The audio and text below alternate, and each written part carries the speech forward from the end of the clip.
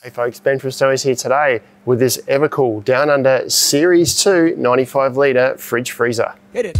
Down Under series is made right here in Australia on the Sunshine Coast, specifically made for tropical environments. This one has a 40 and a 55 litre compartment and a Bluetooth up for control. Before we dive in, we've got loads more content like this on our channel, so make sure you like and subscribe below. Now let's jump into the product. Now these Down Under fridges, EvaKool claim to be made in Australia. Now what that means, by EvaKool's words, is they import an unfitted fridge cabinet and then they turn it into a 12 volt fridge right here in Australia on the Sunshine Coast. There's Australians putting it together they're using quality commercial grade components inside, so it was made tough for off-road users backed by their 28 plus years of experience in the company, and each fridge is tested before it's delivered. Now, when you buy your fridge, you get the fridge obviously, and you get these few things included with it, some stickers to go on your car, your instruction manual, you get a 240 volt um, uh, transformer and cable, you get a 1.8 meter 12 volt cable with Anderson leads and then an 18 centimeter uh, Anderson to cigarette plug. So that means you can plug this straight into the fridge and then you can attach this to the other end of the 12 volt cable if you're running it from a cigarette port. We'll connect all that up shortly and show you how it works. Now the fridge weighs 35 kilos and in terms of dimensions, it's 90 centimeters or around about 90 centimeters from the edge of the cabinet to the edge of the cabinet here. If you include the handles in the width, in the total length, sorry, 96.7 centimeters from uh, end to end, handle to handle. Width-wise, 53 centimeters from here to here, it's flat on each side, and 47 centimeters in height from the bottom of the feet under here to the top. And if you're wondering how much clearance you need to leave for the lid to open, if you've got something above it here, it's about 95 centimeters. I'd probably allow a little bit more than 95 centimeters for that to clear whatever's above it. The fridge is made from a combination of materials. This white is a powder coated steel and the black or dark sections are a polypropylene. So the bottom here on the top is polypropylene. If we have a look around the outside, uh, this is the, well, the front, I suppose we'll call this one. We've got two little anchor points here. There's just a metal pin in there so you can put a strap through it to tie it down either in the back of the car or to a fridge slide. And you've got a little vent here uh, which is where the compressor sits inside for venting. And on the back, it's exactly the same features with the two, two uh, tie down points and the vent. Coming down to this end of the fridge here, now this is where we can plug the power in. The power and the control ends of the fridges are at opposite ends. So firstly, the handle, spring-loaded handle at the top here, you could take that off if you wanted. There's Phillips head holding that in place. Underneath or just below that is another tie down point, and then below that is an Anderson plug. Now this is just attached on the outside here, so I guess theoretically you could change this plug if you wanted, but Anderson's a pretty universal sort of connection, so this is where we can use, uh, if we're connected to 12 volt, we'd use the 1.8 meter lead here and attach this to the Anderson here, and then use either, if we've got an Anderson plug to put it into or a power pack with an Anderson plug, we can plug the Anderson straight in.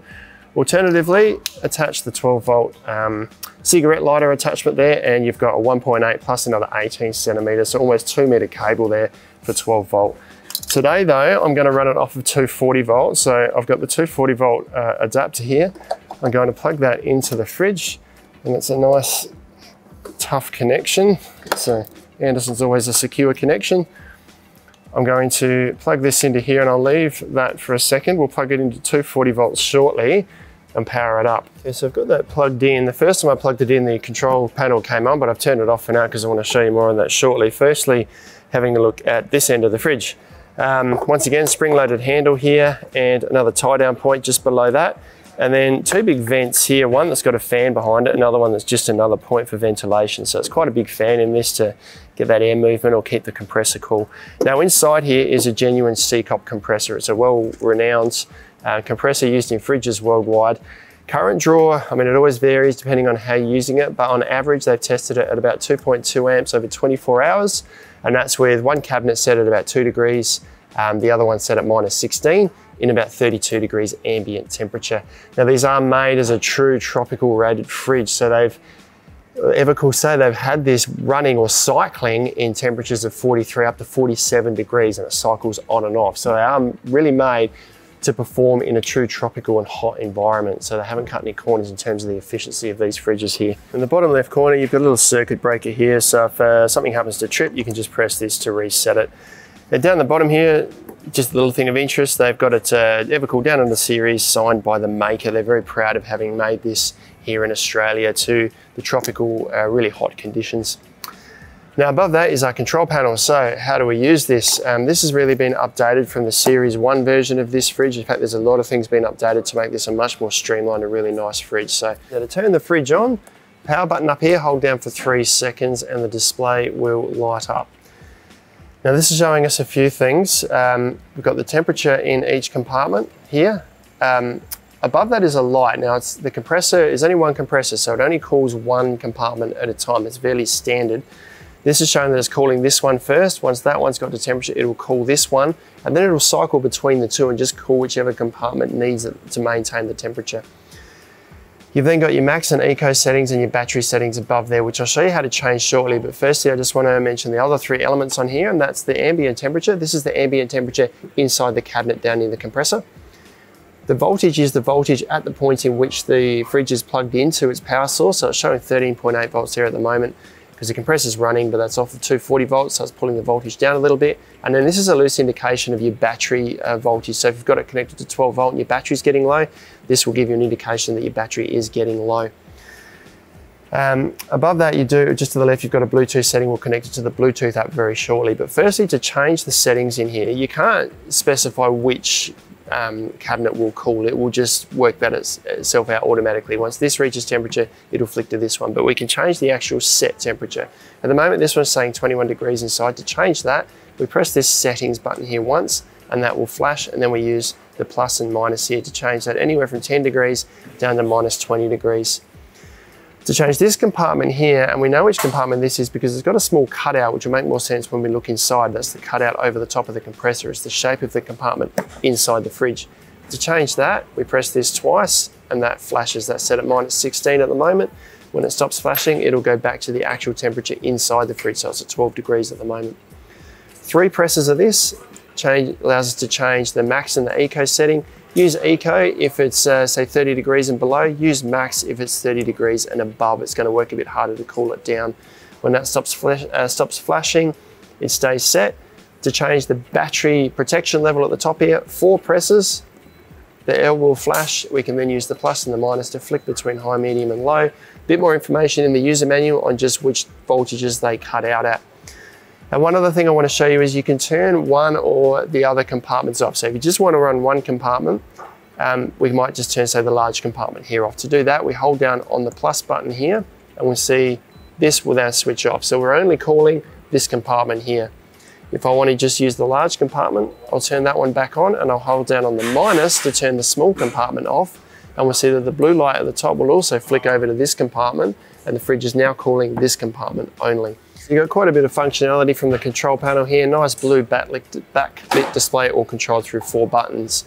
Now, I just want to show you the Bluetooth app. So I've got it on my phone here. If I just open up the Down Under 2 app here. So this is the screen it comes up to first. Now, just for interest sake, you can control multiple fridges from the one app by logging in and out, but you can't have two apps connected to the one fridge at the same time. So what we'll do now is click search for the unit and hopefully it will come up with our down under B961. I'm going to assume that's this fridge because it's the only one we've got uh, connected or turned on here. So I'll click connect.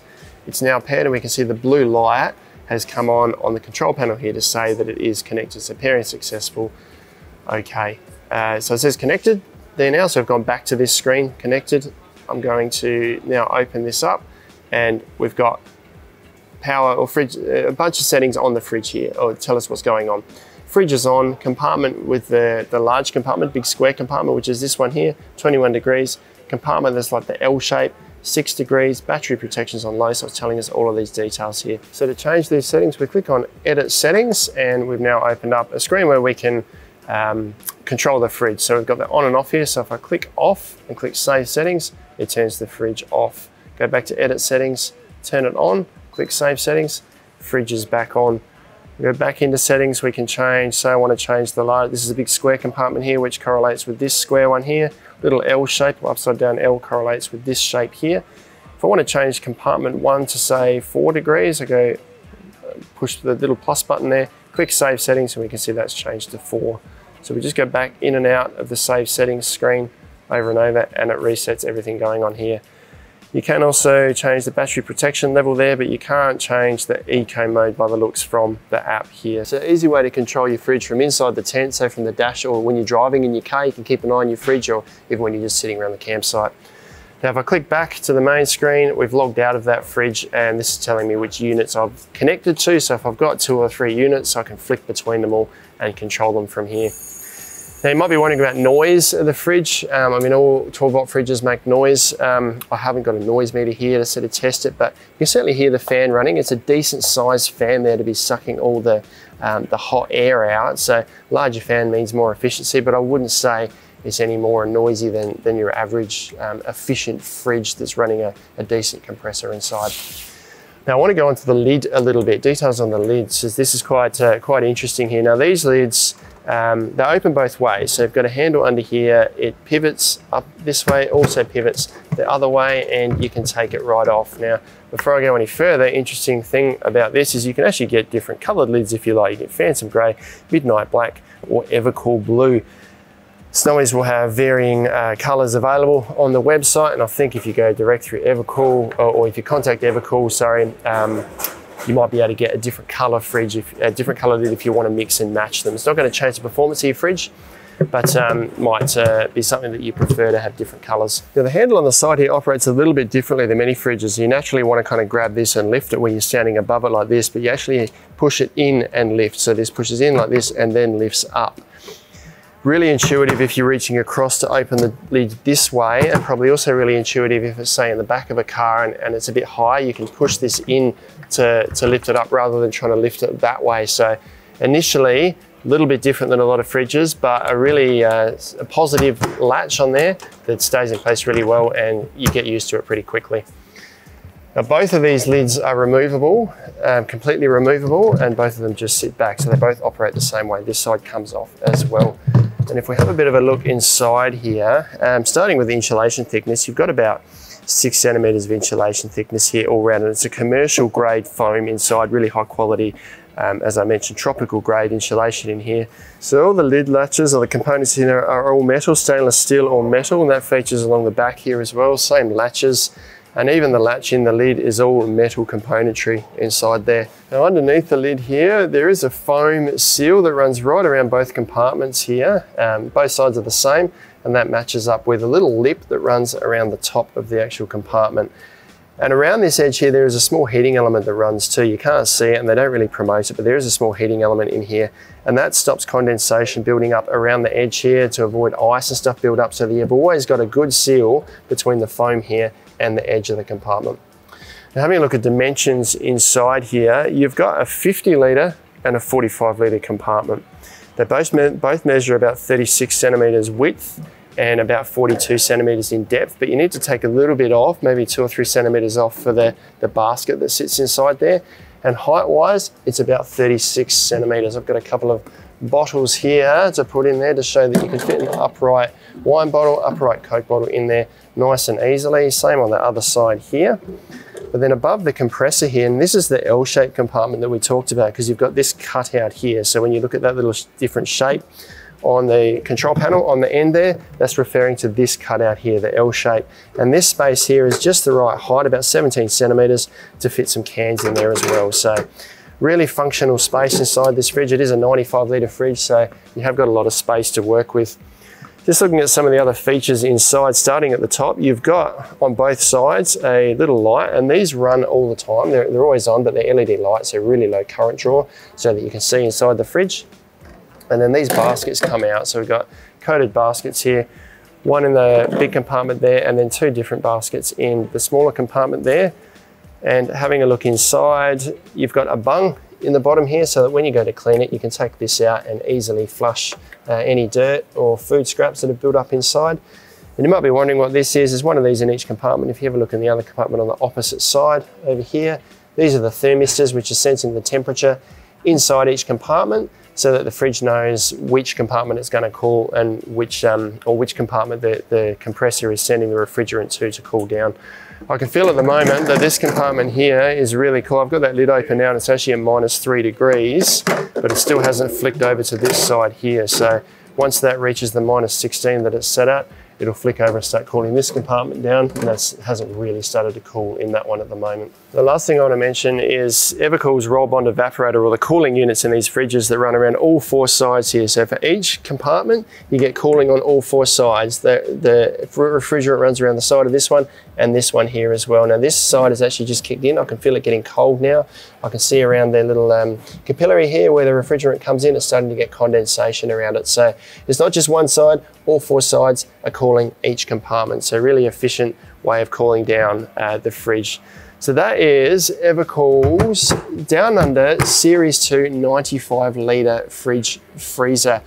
I will step up from the Series 1 version of these they brought out. If you love Australian made, you're supporting Australian made as much as you can when it comes to 12 volt fridges by buying one of these. Even the app was developed here in Melbourne, Australia. If you have any questions about this fridge or any of the EvaKool fridges, let us know down in the comments below. Or if you want to find out more details or check out more details, you can see them online at snowys.com.au where you'll find them at our lowest prices every day.